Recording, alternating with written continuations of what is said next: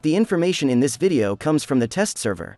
The update is scheduled for August 28th, but the schedule is subject to change, as is the information contained in this video. Hello everyone. I hope you're all well, and today we're getting together for a new video to talk about Limitless Heroes.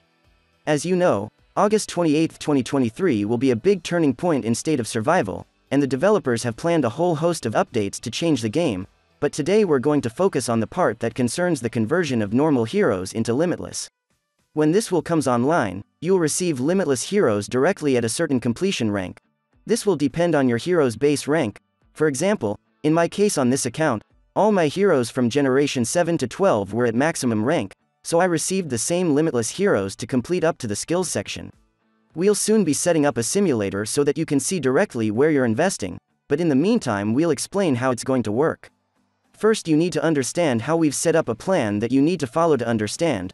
For the first page of the rookie rank, we've assigned a number to each improvement from 1 to 6. For the elite page, we've assigned numbers from 1 to 9 to each node. Now here's a little chart. The rank is the rank of your hero, for example Colonel or General.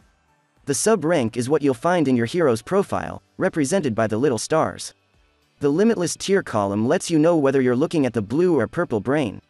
The node's level is the result you'll get after conversion. This is the most complicated part to establish.